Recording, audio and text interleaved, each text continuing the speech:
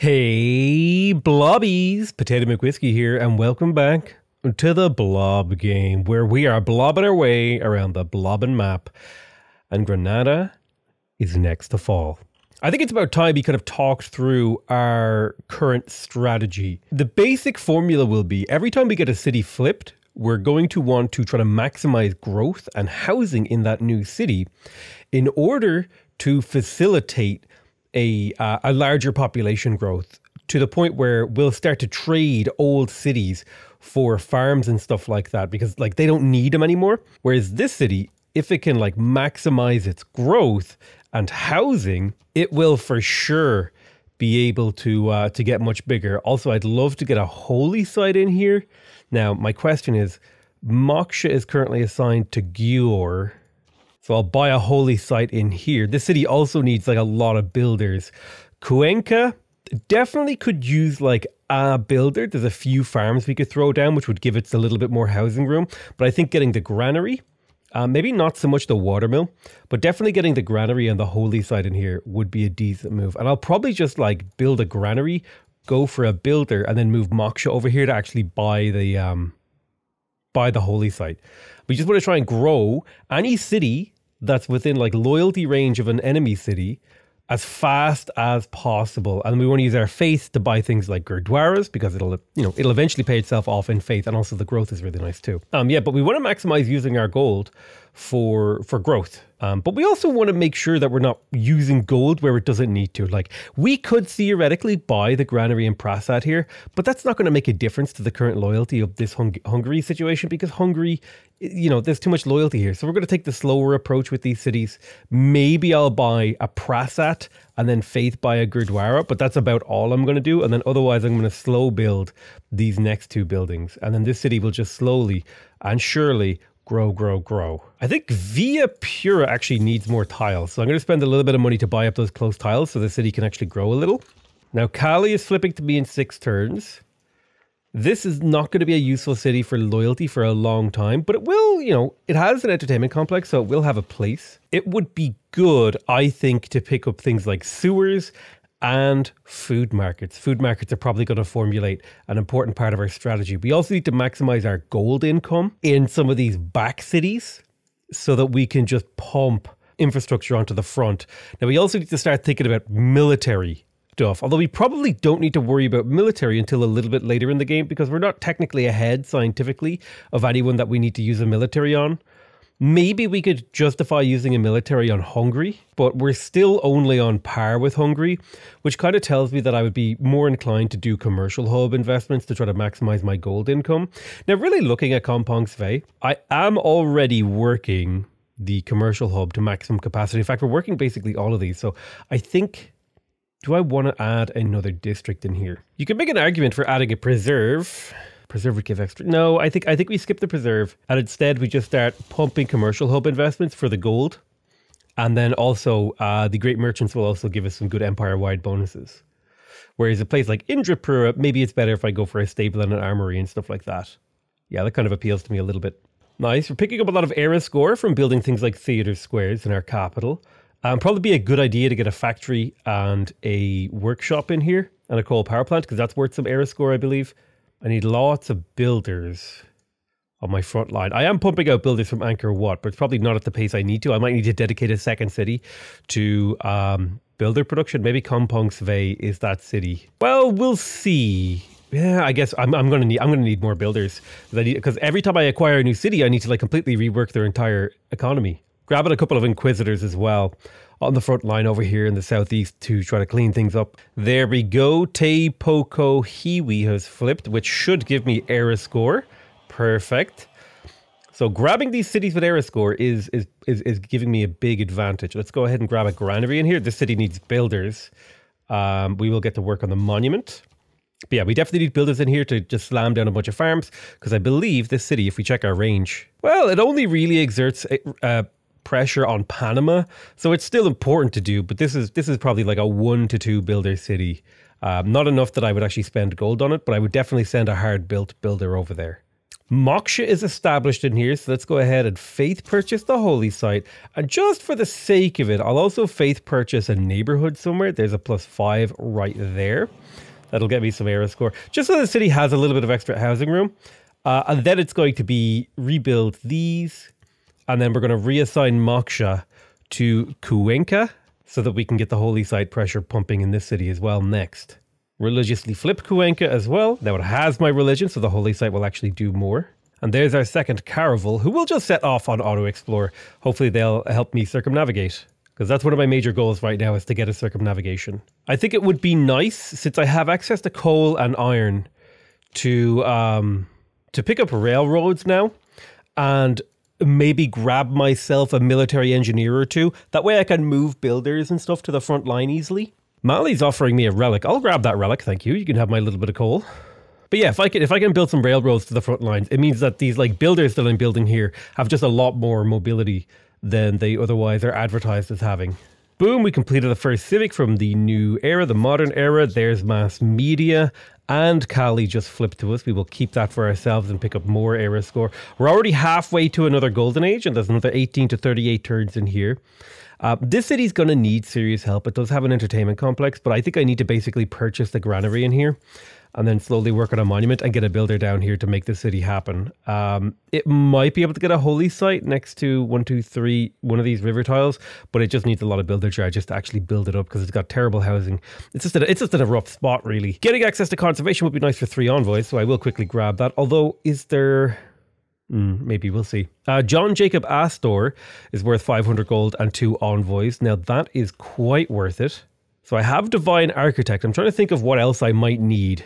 I don't think I really need anything. Except for maybe more governors for extra loyalty boosting, just like the whole cities that I take. I'm happy with all of these things. The only thing I would maybe consider changing is scripture at this point. Like maybe liberalism actually just gives me more yields across my empire. Um, Heartbeat of Steam is quite good. Campus adjacency, culture industry. Well, I guess I can't really plug these in until I get a better government. Colonial taxes might be useful. Let me have a little quick look. Uh, but yeah, all my cities are on Pangea Ultimate except for over here, so that's not really a viable move. Definitely should consider settling a city in here and up here, maybe in the near future. Yeah, the only economic card I would consider is plugging liberalism in here, but I think I'm going to leave scripture in because that's actually this is the same amount of food um, boosted, and I'll just plug in craftsman and leave it at that. Thinking about the most gold or yields I can get in general, I have a decent amount of commercial hubs plugged in, so if I put an envoy into Muscat, that'll scale reasonably well. Uh, I don't think I need to be Suzerain of Jerusalem. I think that's necessary so I'll just hold on to this. Well, I guess I'll put one point into Anshan because that is like a tiny bit of extra science. Then I use that great person that gives you envoys. So I'll pop two more into Mogadishu just so, just so I keep getting my gold up because gold is going to be how I really sort of accelerate the development of my newly acquired cities to the point where they'll actually be able to um, apply their pressure more liberally to nearby cities. Um, I have to play a little bit conservatively with gold right now, but my hope is that I can change that.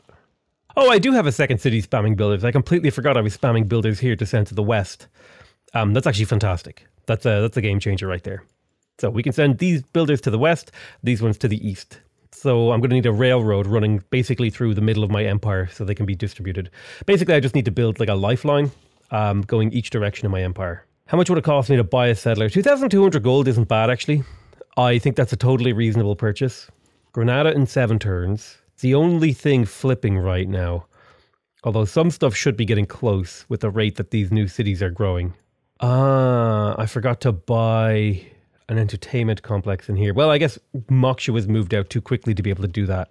We have access to steam power, so we can start building railroads.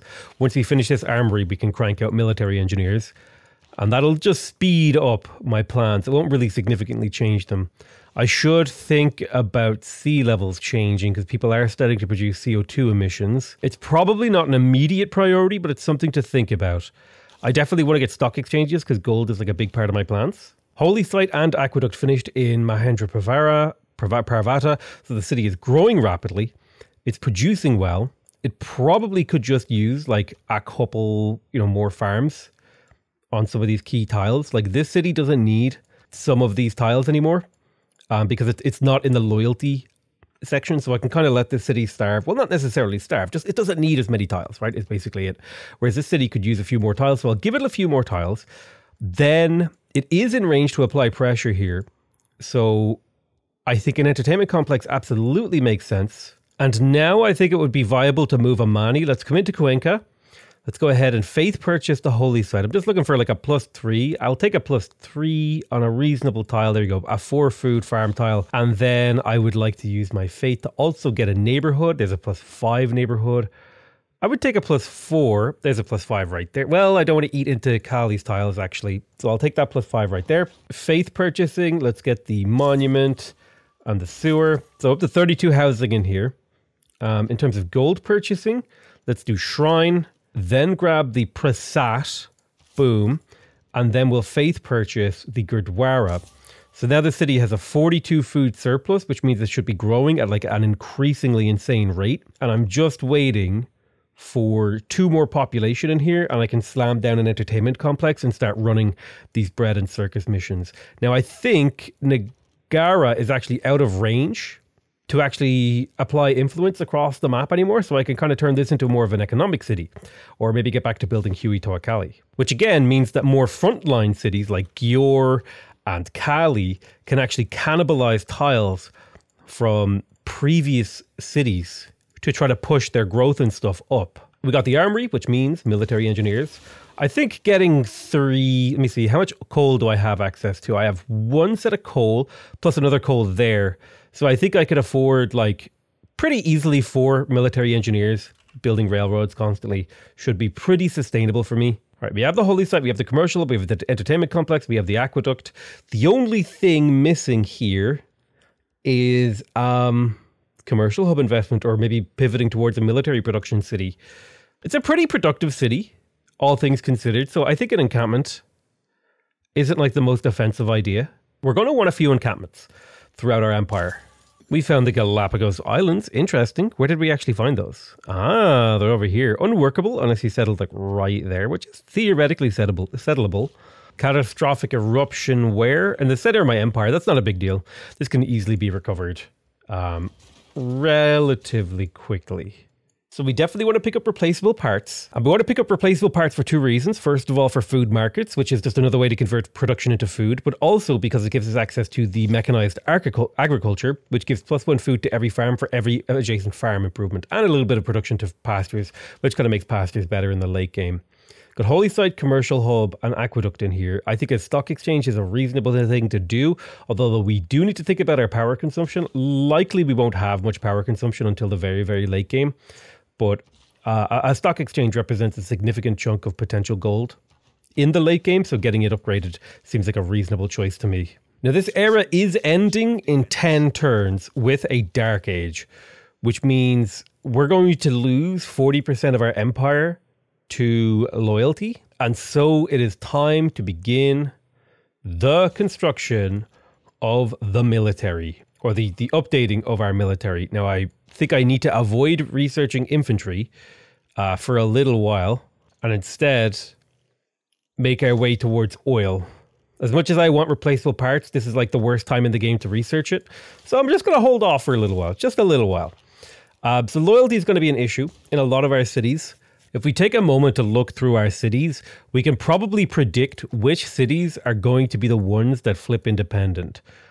Most of my cities have like good positive loyalty, but anything with low positive loyalty is going to struggle. Like maybe Cali is definitely a foregone conclusion. I think that one will flip independent. And a lot of this stuff over here to the west will also flip independent. And the terrain isn't really open enough for me to declare or like to, to fight a general war. A lot of this stuff down here to the south might have to go. So we'll have to see how it all flips out for me. I'm going to start producing military units, of course. Uh, anything that I can do in under 10 turns in any of my cities that becomes available for military production, I will of course be doing. Now, the one big danger I have here is um, my cities are going to be flipping independent, and I, I'm going to have a really hard time flipping them back. It's actually very uncertain what will happen. I kind of don't know, and, and thus I'm kind of curious to see. The city has reached 20 population, a little bit of era score. I mean, I, may, I gave it a really good effort to get enough era score, but it really wasn't enough. Consider, I think I needed like 60 points and I got half of them. It was just way too expensive. Three golden ages in a, in a row is hard to sustain, you know? Let's unlock our government and plug in production towards um, normal units. We'll take out conscription and we'll also put in production towards cavalry units. This way we can maybe get a few extra units out a little bit sooner. Oh, I didn't mean to make an ironclad. Let me just delete that. I don't want to make ironclads. It's like the antithesis of what I want to be doing right now. I want to be making land military. Granary, Gurdwara in here. We definitely need to build the aqueduct. This city just needs a builder at some point. And our first start of the railroad has begun. Railroad will make managing such a large empire so much easier. Like insanely, insanely easier compared to how we're how hard of a time we're having right now. Granada did flip independent, though, which is a good opportunity for me. I think we take suzerainty. No, I don't think we care about Jer- uh, Jerusalem suzerainty. I do think, though, we take um, two points into Muscat to get that little bit of extra gold, and then maybe like more points into like Wohlen and stuff to get that military production across our empire. The faster we can make units, the better off we will be, in my opinion. Earning earning um, era score isn't actually a terrible thing for us here because it does lower the loyalty penalties we're going to have in the next era. Now the good news is I don't actually ha- have steel. So at least the cities that spawn won't have inherent defenses. And I'm pretty sure if they don't already have walls, they shouldn't spawn with walls. I could be wrong about how that works. I'm fairly certain it works like that. Boom, we got access to our first power plant and we got access to military science. So now we got coal power shooting out from this city, providing power to the heartland of our empire. Um, it would be good to get an encampment in the city, I reckon, to increase our military production. trying to think of a good spot to put it. Not really great spots. I'll get rid of the maize. I'm okay with getting rid of the maize for an encampment. That allows me to build military more effectively. We're going to be entering in, into the phase of war, which is not a good or fun phase of the game, but it is a necessary one. We circumnavigated the world for five era score, beautiful. We're up to 200. I mean, we were actually very close to achieving a, uh, a golden age. We just didn't quite hit our goal, which is a bit unfortunate, but it's kind of to be expected. You can't really expect too much of an empire like this. Um, we like we, we'll give things our best effort, but it doesn't mean that we're going to make it. You should start to see my military strength actually shoot up uh, every few turns. And uh, okay, so the situation is bad, but we did just get mobilization, which makes my life a little bit easier. But welcome to the new Khmer Empire. We are in crisis. This is like the crisis of the of the Khmer Republic here. We are losing loyalty everywhere. Everywhere. Uh, now, the nice thing about some of these frontline cities is that I will be able to recover some of that loyalty using governors. Wow, minus 20. Oof, I forgot to move my units out of this city. Uh, I guess we just get off a quick free pair of pillages here, and that'll help fuel my economy. Yeah, the minus the minus 22 plus loyalty per turn in some of these cities is rough. So there's going to be like a count. We're going to have to do a counter offensive to recapture our own cities. Um, but they have really high combat strength is one of the big problems that we're going to run into. So let's go ahead. I, I need Niter. I think Niter is the most important thing I get access to here. 800 gold gets me 100 Niter, which gets me a couple of upgraded line infantry on this co- on this side of the conflict and then a couple of extra line infantry here when I have the gold in my treasury. We're gonna have to like burn burn some goodwill here or, or burn some resources into the economy of our of our neighbors just to pick up the gold we need to um, upgrade our economy and our military here. But now we have line infantry. I think we can head, we can pick up oil and then go to regular infantry. I think what we'll do is we'll go oil, artillery, infantry, flight, and we'll just have a very oil heavy army. We have a relatively big empire and we have a little bit of time before things really get bad. Uh, there are a few cities kind of flipping the wrong direction for us, but maybe once we stabilize a few of them, we should be fine. So let's think about our approach to recovering from this situation. Man, it's actually just so bad what's happened here. So I think this Western front is less important to me. These should be recoverable relatively easily. I think I need to continue to push in on Colombia. So Loja, Cuenca, uh, Loja and Cuenca are going to be my two priority cities for recovery. I think that's what we're going to be doing. These are relatively strong cities, so it's going to take quite a bit of bombardment. Um, but I think we can do it, and we have railways already heading over here. 1800 gets me a Domrey army, actually. Um, that is kind of a viable thing to do. They will turn into artillery, so let's start some Domrey armies. Let's assign some of these kind of homeless governors to cities that are negative loyalty to buy a little bit more time. It's not going to fix our problems, but it buys me time. And that's important. Let's come into here. Let's kind of clear out our government here and go to more of a warlike government. I might switch into monarchy here. Let me have a little bit of a think about that. Collectivization might be really, really good here. Uh, it's a huge amount of production and food across my empire. Soft targets would help me retake my cities. For now, I'll plug in collectivization, but when I'm actually attacking cities, I will definitely plug in um, soft targets. I want Grand Army plugged in, and I would like chivalry. In terms of economic bonuses, I need to produce as much gold as humanly possible right now, so Merchant Confederation works for me. Triangular trade is okay, but it's too bad in comparison to some of these. Oh, yeah, I can use faiths to purchase military units. I need to completely keep on top of that. Okay. So we'll plug in these. We're not going to have the builder card plugged in because that's actually a low priority for us right now. Right now, we're a military civ. And I totally forgot that I had like a huge bank of faith for this exact occasion where I can like just instantly purchase um, unit armies, like at will, to start smashing these. Now let's have a look at a Domrey attacking one of these cities. It's quite slow and weak, but it would do damage. That's the thing. It would do it would do a chunk of damage. So let's fold Domreys into our plan, and let's also pick up Victor and throw him into a low loyalty city. Let's cancel the construction of builders in favor of building military or things that support my military. All right, chosen player generates 100% more grievances. I think it would be nice to be able to build um, I think it'd be nice to build encampment buildings faster, so I got to put like a bunch of votes in that. I don't really care who wins this. I guess I'll vote up uh, Gitarja.